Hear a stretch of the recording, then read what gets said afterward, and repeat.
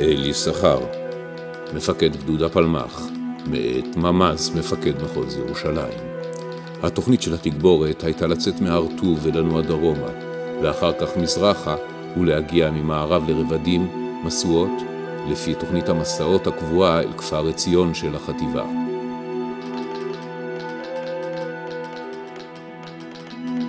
אל מפקד גוש עציון, מאת יששכר, מג"ד הפלמ"ח. היחידה יצאה מהר טוב למשואות יצחק, תגיע למקום ב-0200 או ב-0300. יסמנו בקווים ארוכים בפנס, דאג שהיחידות במשקים והנאות בשטח תדענה את הסימן. מביאים חומר נפץ לפוצץ גשר, פרטים אצל דני.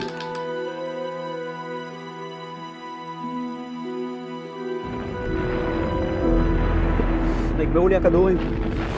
הערבים מקיפים אותי מכל עבר.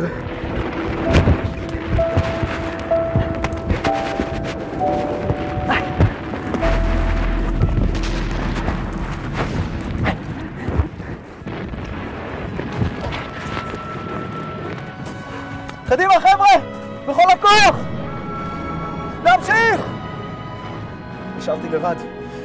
לא תצליחו לנצח אותנו! נילחם בכל הכוח!